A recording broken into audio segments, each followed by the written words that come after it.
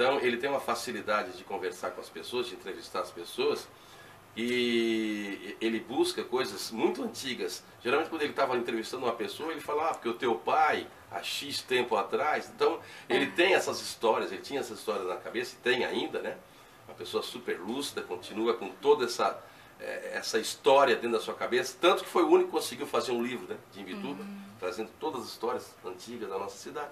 O seu Manuel ele tem um, um, uma vantagem, porque ele expressa a própria opinião dele uhum. sem ter medo, né? sem uhum. ter medo do que está falando. Ele, mesmo naqueles tempos em que uh, não se podia falar tudo, não existia essa liberdade de imprensa que nós temos hoje, graças a Deus, né? Uhum. o seu Manuel expressava do jeito dele. E existem fatos interessantes da época. Teve uma vez que eu não sei se ele sonhou com aquilo ou imaginou pela experiência uhum. política que também ele tinha. Ele disse: Olha, vão, vão tirar todo o dinheiro da poupança de vocês. O governo vai pegar o dinheiro de vocês. No outro dia, todo mundo tirou a poupança.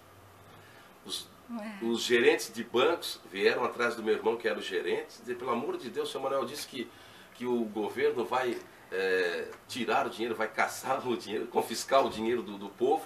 Todo mundo tirou. Aí o meu irmão veio e falou com o senhor Manuel, o senhor Manuel disse, tá, tá, então eu vou falar lá. Aí o senhor Manuel disse, não, olha gente, isso aí vem é apenas um, uma coisa que poderia acontecer, mas não vai acontecer não, todo mundo no outro dia foi lá e botou dinheiro de novo. Então ele tinha esse domínio sobre a população de Bituba.